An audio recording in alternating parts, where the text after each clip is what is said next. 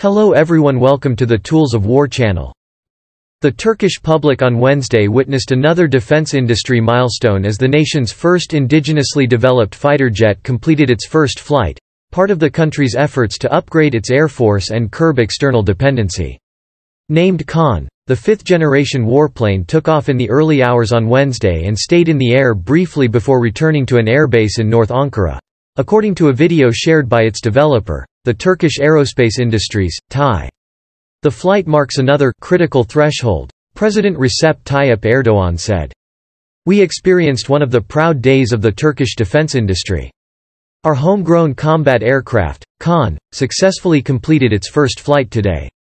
Turkey crossed another critical threshold in producing a fifth-generation fighter jet, Erdogan told an event in the western Afyonkarahisar province.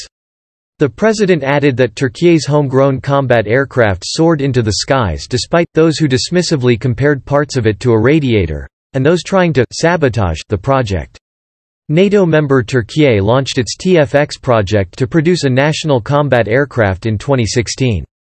TAI signed a deal with Britain's BAE Systems worth $125 million in 2017 to develop the next-generation fighter jet.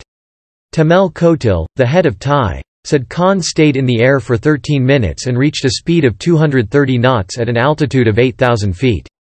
Turks steel wings in the sky. Industry and Technology Minister Mehmet Fatih Kacir said in a post on social media platform X, formerly known as Twitter. With KAAN, our country will not only have a fifth-generation fighter jet but also technologies that few countries in the world have. Haluk Gorgun, head of the Presidency of Defense Industries, SSB, wrote on X. Earlier, the engineers carried out KAAN's launch seat tests, full-length static tests, static tests of control surfaces, landing gear tests, avionic system tests, fuel tests, engine start-up tests and taxiing tests. Unveiled publicly last year, the jet is regarded as Turkey's most ambitious project to date. The warplane made a runway debut and completed its first taxi test after starting its engines for the first time in mid-March last year. It is sought to replace the aging F-16 fleet in the inventory of the Air Force's command, which is planned to be phased out starting in the 2030s. The new fighter jet will initially be powered by two General Electric F-110 engines, which are also used on fourth-generation Lockheed Martin F-16 jets. Turkey aims to use domestically produced engines, which are almost ready, on KAAN in serial production, Gorgun has said, with that expected to start in 2028.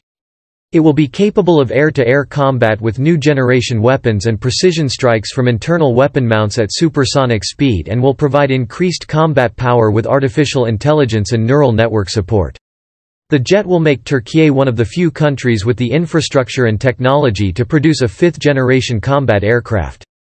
Turkey recently secured a deal to procure 40 F-16 fighter jets and 79 modernization kits for its existing F-16s from the United States after a long-delayed process. It first sought to purchase Lockheed Martin's more advanced F-35 fighter jets, but the U.S. removed it from the multinational program to buy, and help develop and build the warplane in 2019 after it acquired S-400s from Russia. Washington argued the air missile defense systems posed a risk to the advanced fighter jet, whereas Ankara insisted they would not be integrated into NATO systems. Turkey had ordered about 100 F-35s and its companies were building some 900 parts for the fighter jet. Last month, U.S. Deputy Secretary of State Victoria Nuland said Washington was open to welcoming Turkey back into the F-35 fighter jet program if the issue over the S-400 air defense system is resolved. The prolonged process over the F-16s led Turkey to begin discussions to buy Eurofighter Typhoon jets. In November, it announced that it was in talks with Britain and Spain to buy 40 Eurofighter jets, though Germany has objected to the idea. Ankara has been urging Germany to align with the NATO spirit. Even though the US has proceeded with the F-16 sale, Ankara maintains its interest in buying the warplanes built by a consortium of Germany, Britain, Italy and Spain, Represented by Airbus, BAE Systems and Leonardo, a Turkish defense ministry official said earlier this month. Thank you for watching until the end. Don't forget to subscribe, like share and comment.